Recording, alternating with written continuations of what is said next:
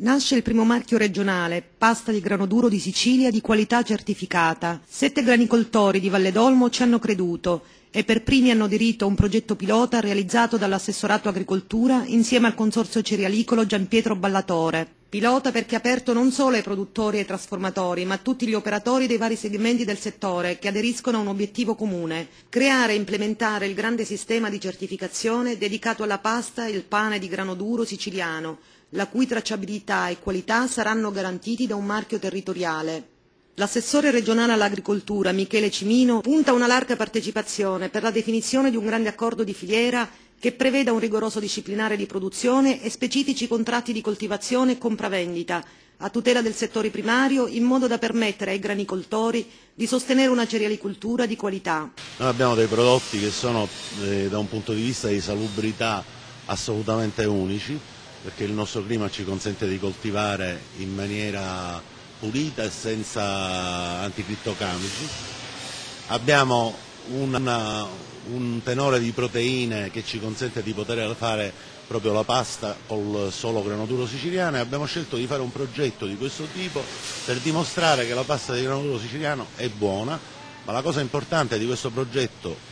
che naturalmente eh, promuoveremo in tutte le sedi, in tutti i mass media nazionali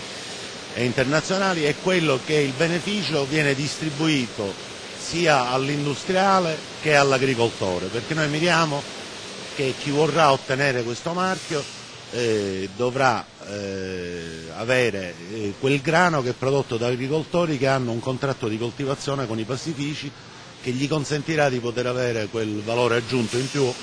all'ahimè prezzo del grano basso in questo momento. In Sicilia la superficie coltivata a frumento si estende per circa 258.000 ettari. Ciò significa che da questa coltura dipende non solo la sopravvivenza della maggior parte delle piccole e medie imprese agricole delle aree interne, ma anche l'assetto idrogeologico del territorio montano e collinare, che subirebbero pesanti danni se venissero ulteriormente abbandonati dagli agricoltori. Gli ultimi dati Istat hanno fatto registrare un dato preoccupante. Dal 2008 al 2009 si è perduta circa il 24% della coltivazione, ma nonostante la grave riduzione delle semine, la filiera cerealicola siciliana rimane una realtà importante. È rappresentata da 115 mulini, il più alto numero a livello nazionale, da 49 aziende sementiere, 192 centri di ammasso, 9 pastifici, 3 panifici industriali e migliaia di panifici artigianali che producono tonnellate di prodotti da forno tradizionali. Una realtà a sostegno della quale la Regione è scesa subito in campo conquistando già i primi consensi. Benvenga un progetto di questo genere che eh, traccia la strada che in futuro potrebbe anche essere seguita da privati o comunque diciamo, ci darebbe l'opportunità di compartecipare